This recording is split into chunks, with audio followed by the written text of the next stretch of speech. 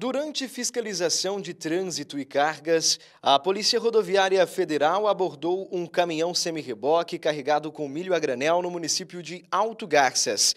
Após checagem de documento do veículo e condutor, a equipe notou um nervosismo exagerado por parte do motorista que apresentava informações desencontradas. O condutor não soube passar informações básicas, como a origem e o destino da viagem momento em que os policiais realizaram uma fiscalização avançada e encontraram os tabletes de cloridrato de cocaína espalhados por toda a carga.